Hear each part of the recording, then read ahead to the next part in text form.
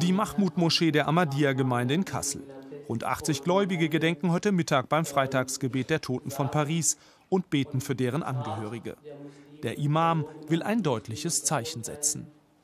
Es gibt viele, die ähm, versuchen, äh, mit Gewalt äh, die islamischen Lehren umzusetzen. Das ist natürlich nicht gemäß den islamischen Lehren.